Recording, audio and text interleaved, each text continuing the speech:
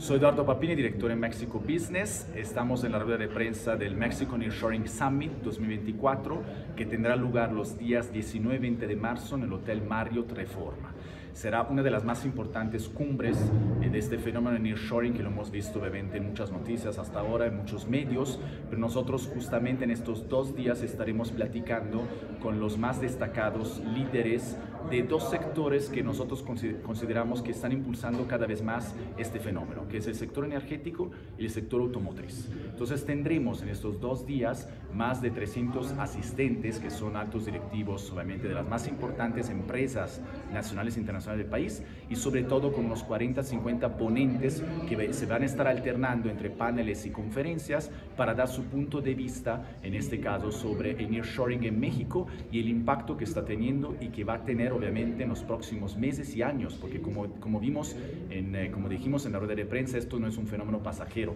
es un fenómeno que va a tener, digamos, repercusiones por años hasta por década, ¿no? Entonces es un momento importantísimo, estratégico para el país, para que se pueda beneficiar de estas inversiones extranjeras y que entonces México se vuelva cada vez más, no solamente una potencia económica mundial, pero siempre y sobre todo una potencia ya manufacturera a nivel ya mundial, porque México ya a nivel industrial y sector manufacturero ya es una potencia, ¿no? Y el nearshoring va a ayudar cada vez más esto. Y como dijimos hace rato con nuestros aliados estratégicos como el gobierno de Veracruz y como ellos, no solamente Veracruz estará con nosotros, tendremos otros 6, 7 estados de la República, entre ellos Durango, Puebla, Chihuahua, Querétaro, Aguascalientes, que compartirán por qué estos estados son importantes y por qué tienen que invertir los, capitales extranjeros en estos estados, por cercanía, por ubicación geográfica, por beneficios fiscales y por todo lo que sabemos en este caso que los estados ofrecen a este capital extranjero. Pero también tendremos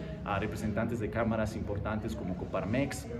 también tendremos, por supuesto, a representantes de cámaras como la Cámara de Texas, tendremos la Cámara también de Comercio China, y de ahí puedo mencionar muchísimas otras más. Entonces tendremos cámaras, estados, representantes, gobernadores y sobre todo también los líderes del sector privado. Tendremos para mencionar eh, nada más y nada menos, no sé, el presidente de Toyota Motors México, tendremos también el presidente de la INA,